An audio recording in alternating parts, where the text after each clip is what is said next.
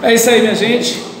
Vamos fechar nosso trabalho sobre história da igreja, apresentando caminhos e atalhos das igrejas cristãs no Brasil do século 21, a partir da obra de Vanderlei Pereira da Rosa, a sua, sua aula que ele deu para a gente na, na Unigran Rio de história da, da igreja há alguns anos atrás.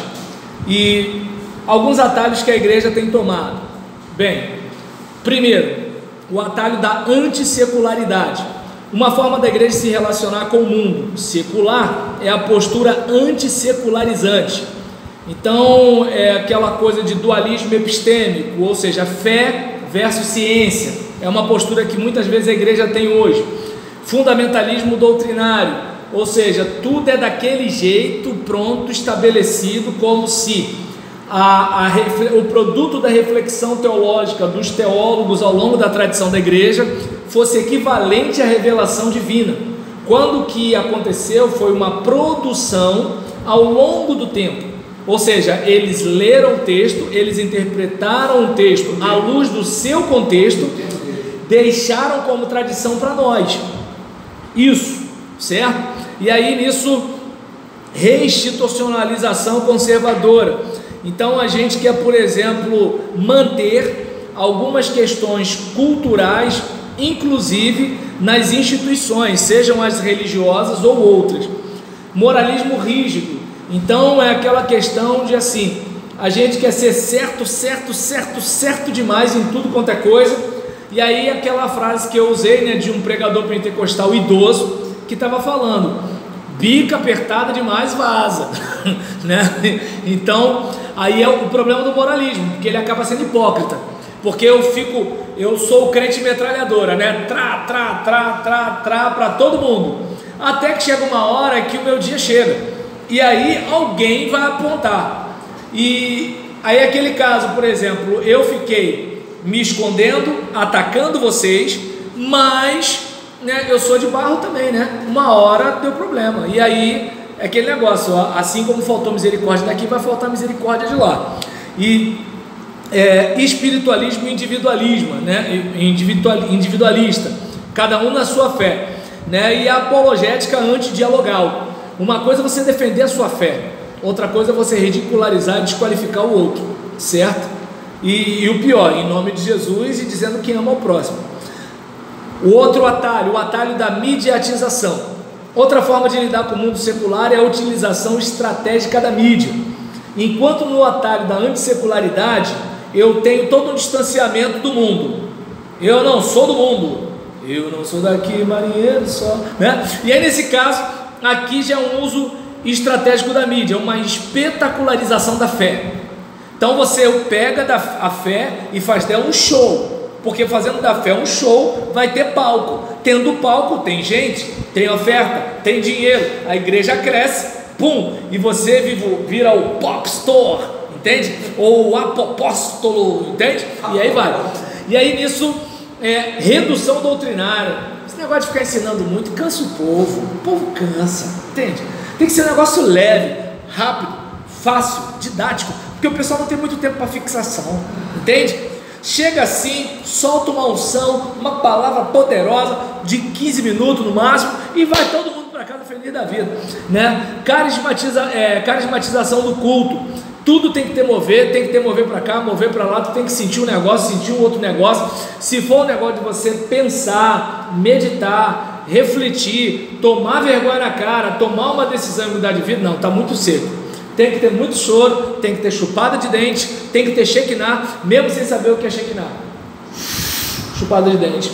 Então, nesse caso, é, no, no, no, caso, uma massificação da fé, né? Você pega todo mundo pelo atacado, né? Todo mundo recebe. Quando, por exemplo, o próprio Jesus ele tem uma caminhada.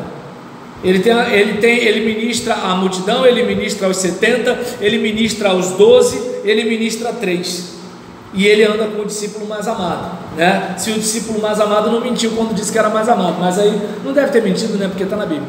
Então, nesse caso, brincadeiras à parte, né? Messianismo personalista pró-instituição, né? Então, por exemplo, igreja tal, igreja tal, pastor Roberlan, o homem de Deus, entende? Igreja tal, Sérgio Amaral, da bola de fogo. Entende? Uma coisa assim, meio que assim, a igreja se confunde com o cara. Entende como é que é o negócio? Então, uma coisa mais ou menos assim. E aí, né, é, é, fica tudo no, no, no, pessoal. Aí o cara morre, o filho às vezes não leva jeito pro negócio. Ou então, de repente, o filho não leva jeito pro negócio, mas ele é o herdeiro do ministério.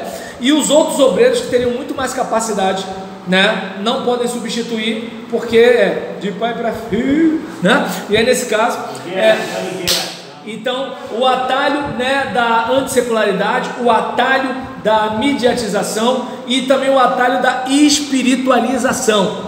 Bem, a gente tem né? Como é que a gente lida com o mundo secular? Com a espiritualização da fé, né? Um dualismo salvífico, alma versus corpo, quando nós somos um ser integral né? Então é aquele negócio assim, peraí, é, eu por exemplo vou valorizar a alma, vou, mas vou valorizar o corpo. E a minha alma está ligada ao meu corpo. O meu corpo vai ressuscitar, eu tenho que cuidar dele, né? Mas eu também tenho que cultivar a minha espiritualidade.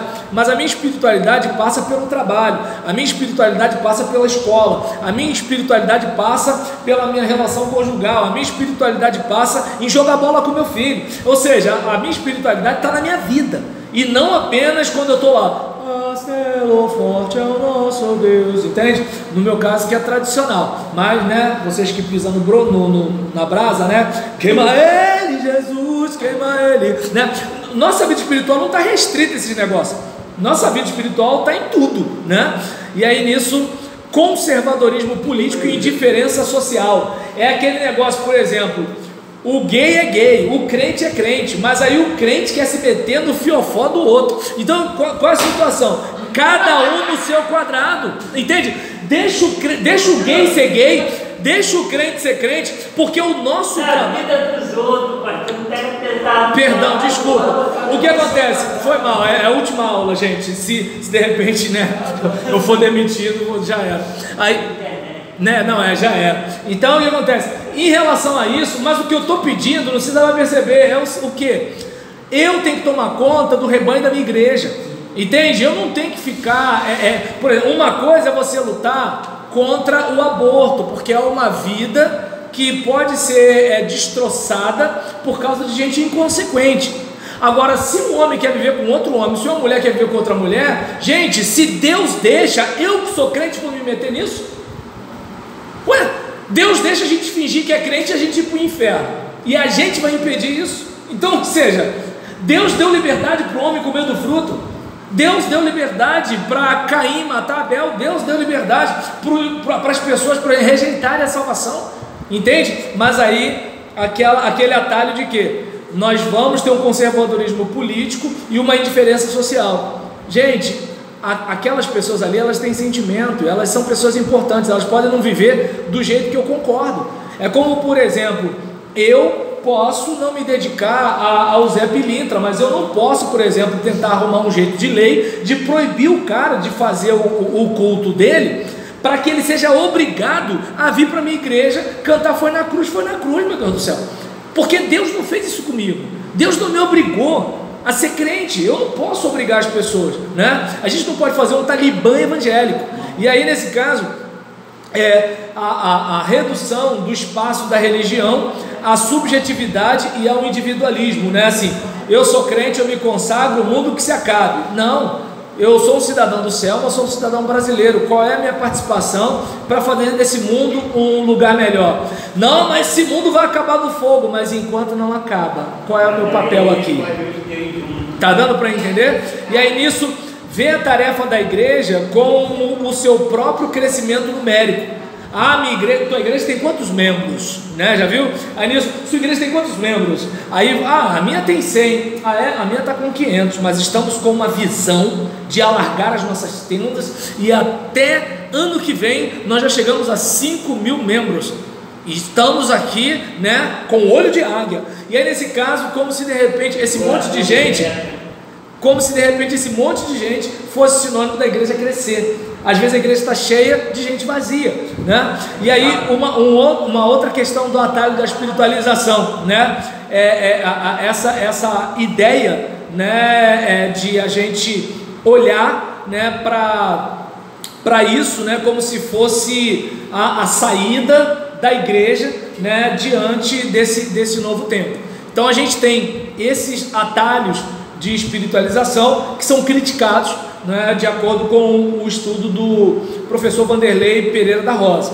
E é, a gente, além dos atalhos, a gente tem alguns caminhos.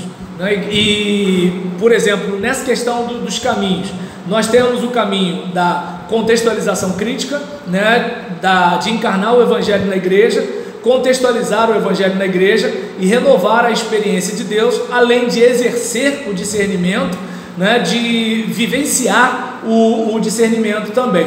E a gente vai falar isso aqui no próximo bloco, só um momento.